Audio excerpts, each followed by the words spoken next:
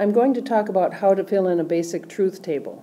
If you can get the rhythm down or the pattern down, it makes it much easier to, when you're starting a truth table, to fill in the P and Q statements correctly so you don't have to worry about that.